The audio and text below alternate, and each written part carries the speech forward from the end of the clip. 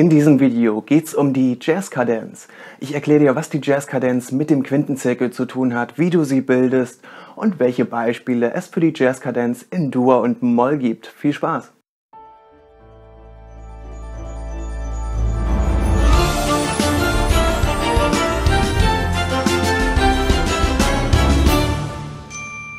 Moin Moin und herzlich willkommen hier auf diesem Kanal. Hier findest du ab jetzt regelmäßig alles zum Thema Musiktheorie, Komposition und Arrangement.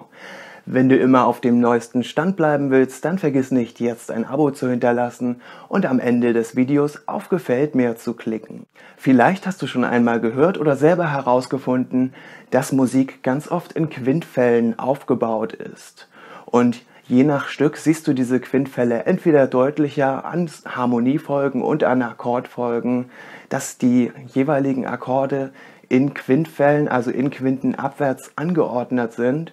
Oder was noch viel häufiger vorkommt, es ist gar nicht so eindeutig, da sind Akkorde ersetzt worden. Oder dieser Quintfall ist sehr stark verschleiert, im stärksten Fall durch Halbtonbewegungen. Musik ist deshalb so häufig in Quintfällen aufgebaut, weil das harmonisch sehr, sehr gut funktioniert und einzelne Akkordfolgen besonders gut funktionieren.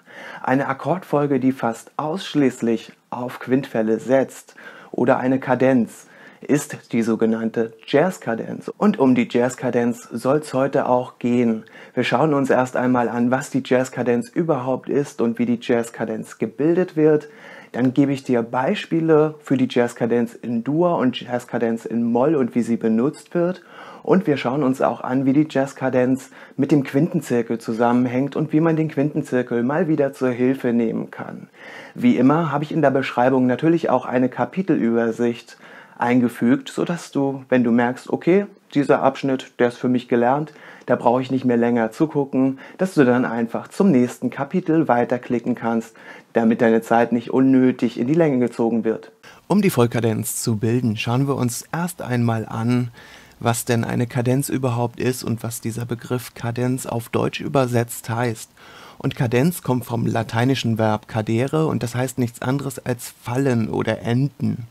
Und das Wort Kadenz, das kommt uns beim ersten Mal in die Quere, wenn wir eben sowas sehen, dass wir einen Dominant-7-Akkord haben, der in einer bestimmten Tonart wieder zur sogenannten Tonika auflöst. Also wie du hier siehst vom G7, das ist dieser Dominant-7-Akkord, der auf der fünften Stufe einer C-Dur-Tonleiter steht, zum C-Major 7, welches die Tonika in C-Dur ist und auf der ersten Stufe von C-Dur steht. Ich blende dir unten auch nochmal komplett eine Harmonisation mit den Akkorden von C-Dur ein, dann kannst du das auch hier im Video mit nachvollziehen, wenn du das noch nicht kennst.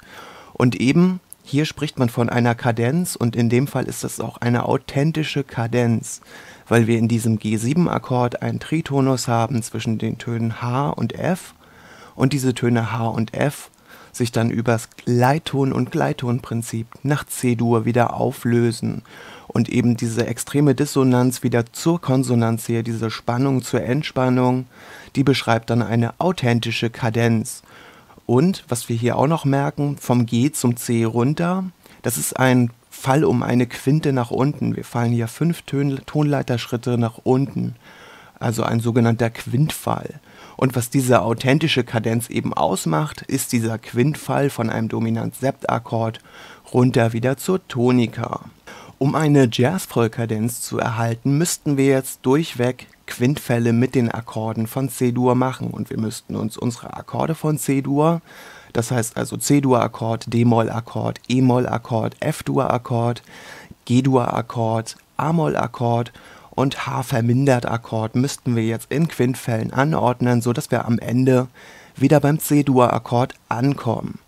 Nun wissen wir ja, dass hier von dieser Dominanten in C-Dur, dem G-Dur-Akkord, zum C-Dur zurück ein Quintfall gegeben ist. Wir müssten also, um jetzt die Jazz-Vollkadenz zu bilden, den nächsten Quintfall finden, nämlich von irgendeinem Akkord ein Quintfall zum G-Dur.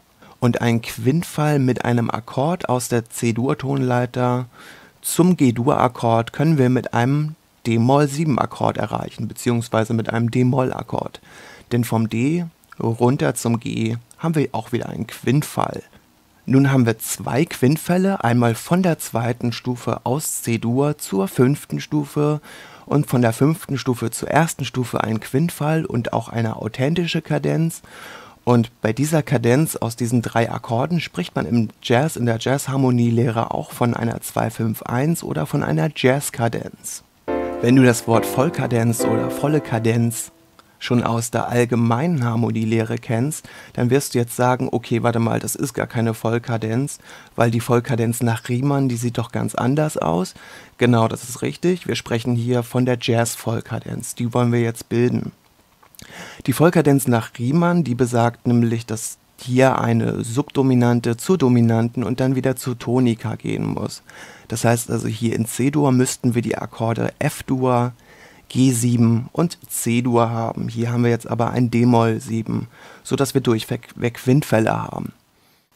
Und in der allgemeinen Harmonielehre spricht man bei dieser Kadenz vom F-Dur zum G7 zum C-Dur, dann auch von einer vorbereiteten authentischen Kadenz. Denn wenn wir uns mal das erste angucken, das erste Beispiel der unvorbereiteten authentischen Kadenz, dann fallen wir hier mit der Tür ins Haus. Wir haben meinetwegen einen C-Dur-Akkord gehört, wissen, dass wir in C-Dur sind, dann hören wir ein G7 und dann wieder ein C-Dur. Heißt also, wir haben hier ziemlich unvorbereitet eine authentische Kadenz gehört. Vorbereiten können wir das nach Riemann, indem wir von einem C-Dur aus starten. Dann hören wir die Subdominante, sind in der Spannung schon mal ein bisschen extremer geworden und dann gehen wir auf den spannungsreichsten Akkord von C-Dur das G7, die Dominante und lösen dann nach C-Dur auf und hier spricht man dann von einer vorbereiteten authentischen Kadenz bzw. Vollkadenz nach Riemann. In diesem Video geht es aber um die Jazz-Vollkadenz und in der Jazz-Vollkadenz bauen wir eben diese Kadenz durchweg mit Quintfällen aus der Diatonik auf, also in diesem Beispiel aus C-Dur. Gut, jetzt haben wir schon mal den Quintfall von der zweiten zur fünften Stufe von d-Moll 7 zum G7 und dann wieder ein Quintfall von G7 zu C7. Wir suchen uns also jetzt den nächsten Quintfall, den wir hier machen können. Und der nächste Quintfall wäre gegeben, wenn wir jetzt vom A-Moll 7 auskommen. Vom A-Moll 7 zum D-Moll 7 fallen wir wieder eine Quinte runter, dann vom d-Moll 7 zum G7 eine Quinte runter und vom G7 fallen wir wieder auf das C-Dur eine Quinte runter und sind wieder in der Tonika gelandet. Das Ganze klingt dann übrigens so. Während nun diese 2-5-1er Kadenz von eben aus den Akkorden d-Moll 7, G7 und C Major 7 eine Jazzkadenz darstellt, spricht man in der Jazzharmonielehre bei einer Kadenz aus diesen vier Akkorden in Quintfällen angeordnet, spricht man von einer erweiterten Jazzkadenz beziehungsweise von einer 6-2-5-1 oder von einem sogenannten Jazz Turnaround. Diese vier Akkorde machen die einfachste Form eines Jazz Turnarounds aus, wobei es im Jazz ganz, ganz viele Arten von Turnarounds gibt, die aber alle nach demselben Prinzip funktionieren, eben diesen Quintfällen, die man aber dann auch ausbauen kann mit Substitutionsdominanten und Sekundärdominanten. Dazu blende ich dir auch nochmal ein Video in der Infokarte ein. Jetzt haben wir bereits vier Akkorde aus C-Dur abgedeckt. Wir brauchen also noch drei weitere, um alle sieben Stufenakkorde von C-Dur in unsere Jazz-Vollkadenz einzufügen. Vom E-Moll 7 aufs A-Moll 7 hätten wir den nächsten Quintfall. Das heißt also von der dritten Stufe aus C-Dur aus, E phrygisch wäre der Mode, den wir da drauf spielen würden. Und jetzt brauchen wir als nächstes einen Quintfall auf das E und eine Quinte höher über dem E steht das H-Moll mit verminderter Quinte. Wenn du jetzt unten nochmal in die Diatonik, die ich dir eingeblendet habe, schaust, dann siehst du, uns fehlt jetzt nur noch ein Akkord und das ist jetzt nicht mehr schwer, uns fehlt jetzt eigentlich nur noch der F-Dur-Akkord, beziehungsweise ein F-Major 7. Hier in dem Beispiel benutze ich ja durchweg vier Klänge. Und wenn du dir jetzt das Verhältnis vom F-Major 7 zum H-Moll 7 mit verminderter Quinte anguckst, dann stellst du fest, als einzige Ausnahme, Moment, das ist kein Quintfall. Ein Quintfall hätten wir doch eigentlich, wenn wir jetzt ein Fis-Moll oder ein Fis-Dur-Akkord einfügen. Und das ist auch genau richtig, nur dieses, diesen Fis-Dur oder Fis-Moll-Akkord, den wir hier einfügen, sollten, den kriegen wir aus der C-Dur-Tonleiter nicht und wir können hier nur diatonische Akkorde einfügen aus der jeweiligen Dur-Tonleiter. Deshalb fügen wir auch trotzdem den F-Major 7 Akkord ein, um jetzt alle Akkorde von C-Dur in Quintfällen angeordnet zu haben jedoch hier vom F Major 7 zum H-Moll 7 mit verminderter Quinte haben wir dann eben eine übermäßige Quarte oder eine verminderte Quinte.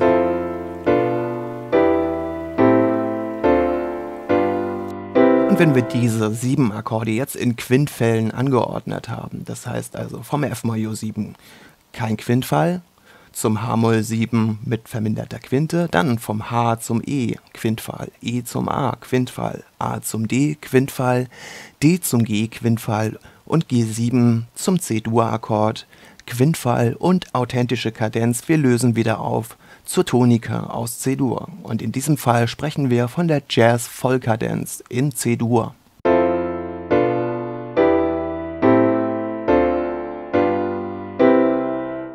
Zum Wort Jazz-Vollkadenz ist das Wort Quintfall jetzt ziemlich oft gefallen, während ich gezeigt habe, wie man eine Jazz-Vollkadenz in Dur bildet. Und bei der Quintfallsequenz oder beim Quintfall, da kann man hellhörig werden und sagen, Moment, hat das irgendwas mit dem Quintenzirkel zu tun? Und ja, man kann die Jazz-Vollkadenz auch sich im Quintenzirkel angucken und Quintfallsequenzen auch. Denn im Quintenzirkel sind Töne ja im Uhrzeigersinn in Quinten aufsteigend angeordnet. Das heißt also, der Quintenzirkel, der könnte uns ja rein theoretisch dabei helfen, Jazz-Vollkadenzen zu bilden oder Quintfallsequenzen zu bilden. Und das schauen wir uns mal an. Wir haben eben eine Jazz-Vollkadenz in C-Dur gebildet. Deshalb markieren wir uns hier im Quintenzirkel auch einmal unser tonales Zentrum, den Ton C und wir wissen, dass hier in C-Dur ein C-Dur-Akkord drauf gebildet werden kann, drauf harmonisiert werden kann. Und jetzt schauen wir uns mal die ganzen Akkorde, die wir hier in Quintfällen gesetzt haben, miteinander an. Vom C-Dur würden wir ja als nächstes zum F-Major 7, dieser Akkord stand ganz links in der Notation eben, würden wir als nächstes ganz weit weggehen zum F Major 7. Dann würden wir vom F zum H springen, vom H zum E, zum E, vom E zum A, vom A zum D, vom D zum G, vom G zum C.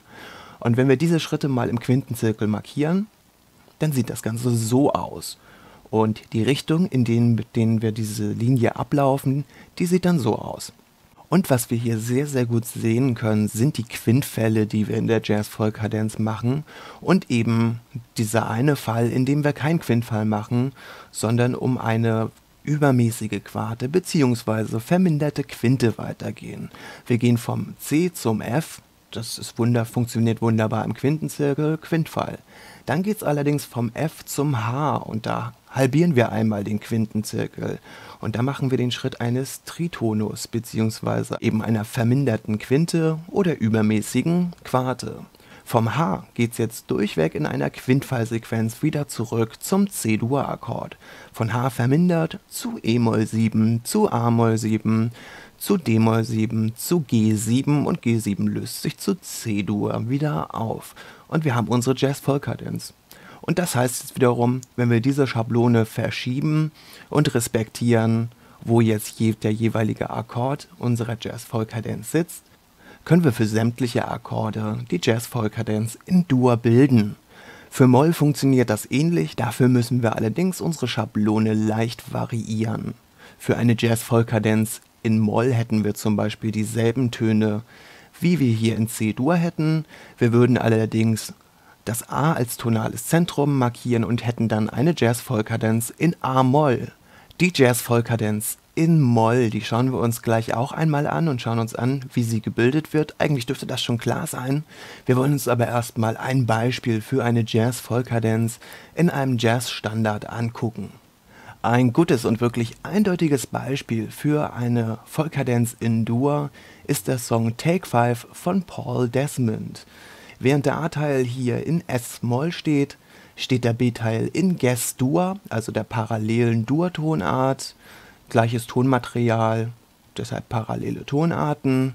Und wir haben hier im B-Teil ganz eindeutig eine Jazz-Vollkadenz in Ges-Dur. Da ich jetzt aber weiß, dass Ges-Dur bzw. Fis-Dur eine wirkliche Hasstonart für so manchen ist und hier ja extrem viele Vorzeichen stehen, sechs Vorzeichen, werde ich das Ganze jetzt erstmal nach C-Dur transponieren, damit auch wirklich jeder ganz eindeutig sieht, dass wir hier eine Jazz-Vollkadenz in Dur haben.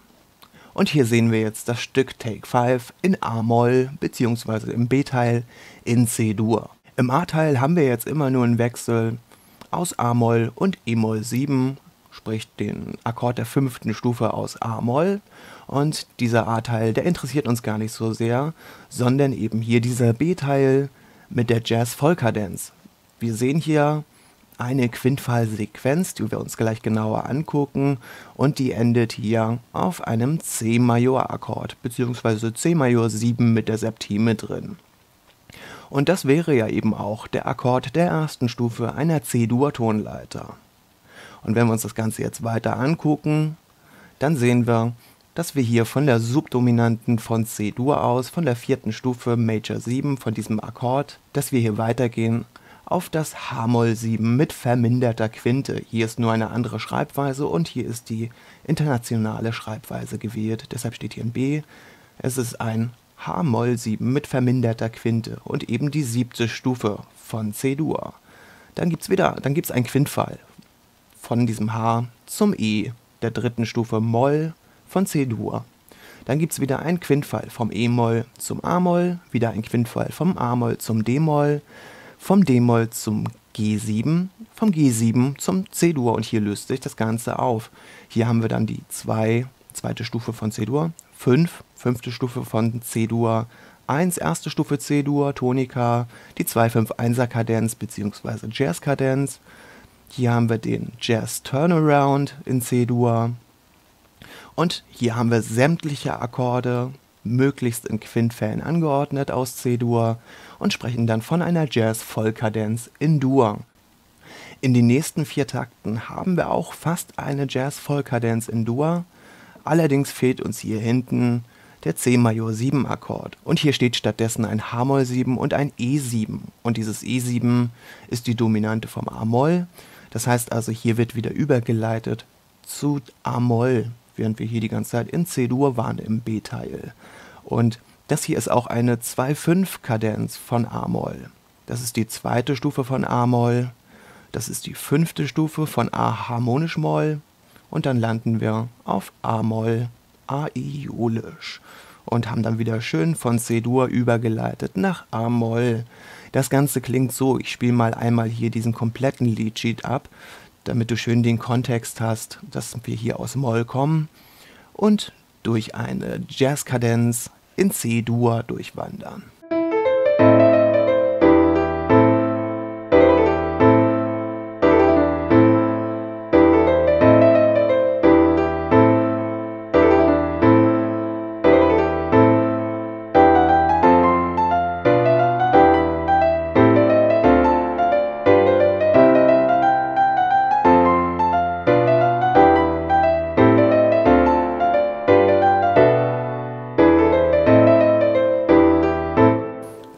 Hier hast du auch schön die Überleitung gehört mit der 2-5er Kadenz zu A-Moll. Wir wollen uns jetzt auch mal anschauen, wie das Ganze denn in Moll aussieht und wie die Jazz-Vollkadenz in Moll gebildet wird. Denn das war hier tatsächlich das einzige Beispiel, was wirklich eindeutig uns eine Jazz-Vollkadenz in Dur zeigt. Ich habe lange gestern noch meine Jazz Realbox durchgeguckt und die Leadsheets durchgesucht und nach so einer eindeutigen Jazz-Vollkadenz in Dur gesucht und meistens ist die dann durch Substitutionsdominanten, sekundäre 2-5er-Kadenzen und so weiter dann noch variiert. Das passiert sehr, sehr oft. Wichtig ist aber, dass man die Jazz-Vollkadenz kennt, um halt wirklich zu sehen, was da harmonisch abläuft und eventuelle Abweichungen dann auch zu erkennen. Das werden wir aber uns in den nächsten Videos mal anschauen. Hier haben wir jetzt eine Jazz-Vollkadenz in A-Moll. Das heißt also, diese Vollkadenz benutzt dasselbe Tonmaterial wie die Jazz-Vollkadenz in C-Dur. Die einzelnen Stufenakkorde, die sind auch gleich, nur unser tonales Zentrum ist hier auf dem A-Moll-Akkord. Und hier habe ich auch wieder diese ganzen Stufenakkorde, die man aus einer A-Moll-Tonleiter aiolisch bilden kann, hintereinander weggeschrieben so dass sich Quintfälle ergeben. Also ich habe im Prinzip die Vollkadenz in A-Moll genauso gebildet wie die Vollkadenz in C-Dur. Auch hier haben wir wieder eine 2-5-1-Kadenz bzw. eine Jazz-Kadenz, allerdings in Moll. Wenn wir uns diese letzten drei Akkorde der Vollkadenz angucken und ein Jazz-Turnaround in Moll, wenn wir uns die letzten vier Akkorde der Vollkadenz in A-Moll angucken. Eine kleine Abweichung wird dir jetzt allerdings auffallen. Und zwar steht hier ein E7-Akkord als allerletzter Akkord als Dominante vom A-Moll 7. Und dieser E7-Akkord, der ist in einer A-Moll-Tonleiter ja gar nicht enthalten. In der A-Moll-Tonleiter haben wir dasselbe Tonmaterial wie in der C-Dur-Tonleiter, weil, weil die beiden Tonarten parallel sind. Wir haben die Töne A, H, C, D, E, F, G und dann wieder den Ton A. Wir haben also diesen Ton Gis nicht enthalten in einer A-Moll-Tonleiter und hier kommt er trotzdem vor. Während wir in der A-Moll-Tonleiter den Ton G haben und hier eigentlich ein E-Moll 7 spielen müssten. Wichtig bei dieser Vollkadenz in Moll ist allerdings, dass wir am Ende auch wieder eine Schlusskadenz bekommen. Das heißt also mit einem Dominanz 7 Akkord zur Tonika in Moll auflösen wollen. Und wir brauchen hier wieder diesen Leitton Gis zum Grundton A, um auch wirklich diese volle Auflösung, um hier richtig eine Schlusskadenz zu bilden. Und deshalb wird hier der Ton G zum Gis erhöht beim letzten Akkord und wir bekommen ein E7 und unsere A-Moll-Tonleiter wird kurzzeitig von A, H, C, D, E, F, G, A plötzlich zu A, H, C, D, E, F, Gis, A. Wir benutzen also A-harmonisch Moll in diesem Fall und bekommen hier eine ganz klare Dissonanz und die löst sich auch wieder schön zum A-Moll 7 auf. Wenn wir A-harmonisch Moll über diesen E7-Akkord spielen, dann sprechen wir natürlich vom fünften Modus, den man aus einer harmonischen Molltonleiter bilden kann, dann hätten wir hier die Skala E harmonisch Moll mit kleiner None und kleiner Tredezime. Dazu lege ich dir auch nochmal ein Video in die Infokarte. Ansonsten haben wir hier jetzt genau dasselbe Akkordmaterial wie in der Tonart C-Dur, nur tonales Zentrum auf A-Moll und wir können uns mal anschauen, wo unsere Quintfälle jetzt überall liegen. Wir sollten ja durchweg Quintfälle haben, bis auf eine Ausnahme. D-Moll 7, vierte Stufe von A-Moll, fällt runter um eine Quinte zum G7. Das G7 fällt runter um eine Quinte zum C-Major 7, auch Tonleiter eigen. Das C-Major 7 fällt runter zum F-Major 7, auch wieder ein Quintfall. F-Major 7 fällt runter zum H-Moll 7 mit verminderter Quinte. Und hier haben wir eben keinen Quintfall, sondern einen Halbton weniger, eine übermäßige Quarte bzw. verminderte Quinte. Jetzt geht es wieder in Quintfällen weiter.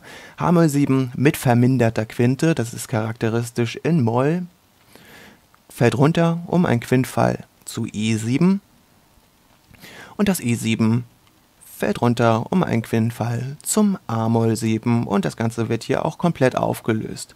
Die Vollkadenz in A-Moll klingt so.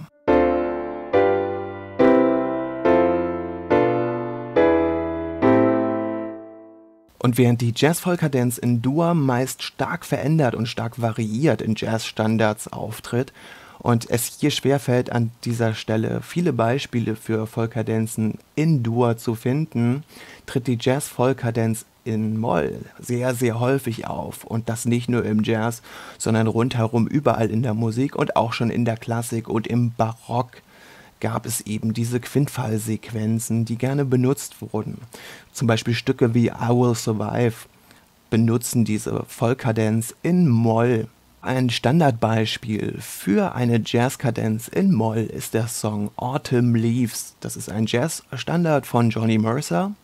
Und hier finden wir im A-Teil die Jazz-Vollkadenz in Moll. In diesem Fall habe ich den Song nach A-Moll transponiert und wir haben hier eine Jazz-Vollkadenz in A-Moll. Das schauen wir uns auch wieder an. Wir starten hier gerade wie im Beispiel zur Jazz-Vollkadenz mit dem D7-Akkord, Quintfall zum G7, Quintfall zum C, Quintfall zum F. Dann haben wir eben kein Quintfall zum H-Moll mit verminderter Quinte, Tonleiter eigener Akkord von, von der A-Moll-Tonleiter und die zweite Stufe vom A-Moll. Dann kommt die fünfte Stufe, harmonisiert Moll, E7. Hier wird A harmonisch Moll drüber gespielt. Und dann haben wir wieder die Tonika in Moll, den A-Moll-Akkord. Und hier eben eine volle Jazzkadenz, Jazz-Vollkadenz in Moll. Bei der zweiten Wiederholung ist das auch noch so. Wenn wir in den B-Teil kommen, dann ist es eben nicht mehr so. Hier haben wir eine 2, 5, 1er Kadenz in A-Moll. Die zweite Stufe von A-Moll wird hier genutzt. Dann die fünfte Stufe harmonisiert nach A harmonisch Moll. Sonst müsste hier ja ein E-Moll-Akkord stehen. Und dann haben wir hier wieder die erste Stufe. Und jetzt geht es wieder weiter. Und wir sehen wieder die vierte Stufe von A-Moll. Quintfall. Dann wieder vom G zum C, Quintfall, vom C zum F, Quintfall, vom F zum B. Aus Gründen der Tonleiter des Tonmaterials haben wir hier wieder keinen Quintfall. Dann haben wir wieder einen Quintfall vom H zum E und dann wieder einen Quintfall zum E, vom E zum A und auch hier wieder kurz mal eine Jazz-Vollkadenz in Moll.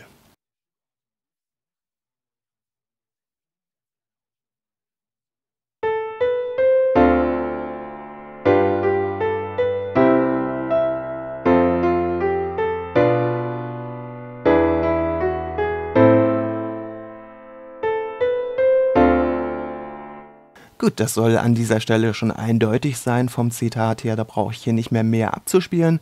Den Song Autumn Leaves findest du auch auf YouTube und kannst ihn dir dort nochmal anhören. Das solltest du ohnehin bei meinen Beispielen immer nochmal machen, weil ich ja meist Leadsheets benutze, um diese Musikzitate zu machen und es dann meist in den Stücken selber nochmal viel eindeutiger wird. Ich benutze hier wirklich nur das Relevanteste, was ich brauche, um dir das Ganze nochmal zu zeigen und um einen Beleg zu liefern. Fly Me to the Moon ist auch ein Beispiel für eine Jazz-Vollkadenz in Moll. Hier habe ich wieder das Stück nach A-Moll transponiert und wir finden hier im A-Teil wunderbar eine Jazz-Vollkadenz in A-Moll. Es geht hier direkt los auf der Tonika, das heißt also, wir gehen hier nicht auf der Moll-subdominanten bzw. subdominant parallelen A-Moll los, sondern starten auf dem A-Moll-Akkord vom A-Moll zum D-Moll Quintfall, vom D-Moll zum G7 Quintfall, G7 Quintfall zu C-Major 7. Dann geht es weiter vom C-Major 7 zum F-Major 7. Vom F geht es jetzt nicht im Quintfall weiter. Hier landen wir wieder wie schon bekannt und wie wir es so langsam wissen. Hier springen wir einmal quer durch den Quintenzirkel durch und halbieren ihn einmal und landen dann durch den Schritt einer verminderten Quinte auf dem H-Moll 7 mit verminderter Quinte zweite Stufe von A-Moll. Dann haben wir hier die fünfte Stufe, auch wieder ein Quintfall dazwischen und die erste Stufe 2-5-1er Kadenz, beziehungsweise von hier aus gesehen Jazz Turnaround in A-Moll. Und dann haben wir hier im A-Teil einmal die Jazz Vollkadenz in Moll abgelaufen. Und Fly Me to the Moon klingt, wir kennen es ja eigentlich alle, klingt aber so, um nochmal auf die Vollkadenz zu achten.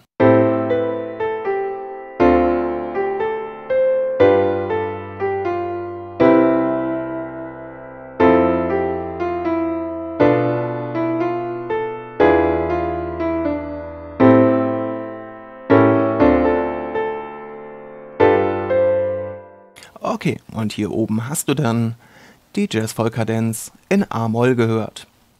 Ich habe vorhin schon erwähnt, dass die Jazz-Vollkadenz natürlich nicht erst mit der Entstehung des Jazz genutzt wurde, sondern dass diese Quintfallsequenzen, die eine Jazz-Vollkadenz ausmachen, auch schon viel früher in der Klassik und im Barock und sogar schon davor benutzt wurden in der Komposition.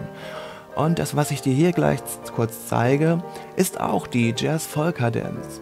Allerdings gab es damals den Begriff der Jazz-Vollkadenz noch nicht, denn dieses Werk ist von Händel und heißt Passacaglia. Und nun denk mal an die Kadenz von Fly Me to the Moon, während du dir diese paar Takte aus dem Werk anhörst.